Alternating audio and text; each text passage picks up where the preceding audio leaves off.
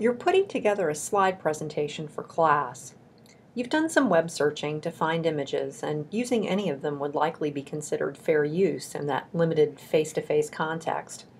But what about sharing them on a website or using them in a video that you publish to YouTube? Under these circumstances, claiming fair use is much more complicated, and you probably have other things to worry about.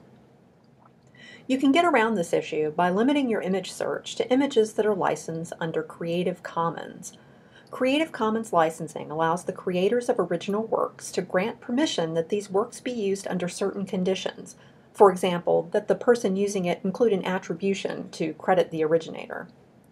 There are dozens of sources for Creative Commons licensed photos, but Flickr.com, established in 2004, is one of the largest.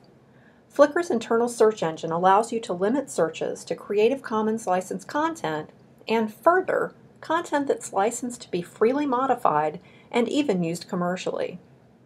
So Flickr is a go-to resource for finding images that you can use in your presentations.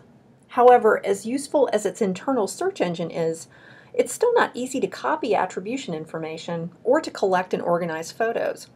Fortunately, Flickr allows anyone with the requisite coding experience to pull its image data into third-party websites and apps.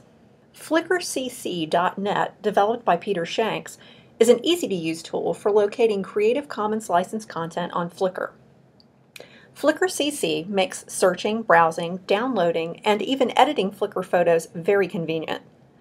However, there's still a problem to be solved if you're searching for more than a few images how to organize all of them along with their attributions.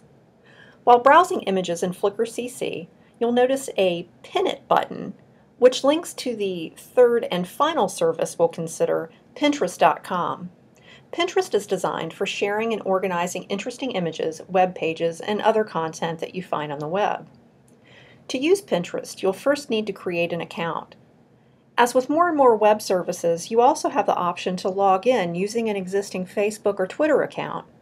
I'd simply recommend using the option below those to sign up with your email address so that you don't have to think about whether everything you pin is going to show up in the feeds for these other accounts.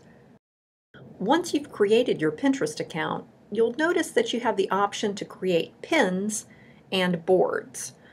Pins are simply visually appealing bookmarks. Boards are thematic collections of pins. If you know that you'll be reusing pins, that is images, in other presentations, you could create a board for commonly used images. Pins can be repinned into multiple boards, so you could also categorize them by presentation topic, subtopic, whatever scheme works well for your purposes.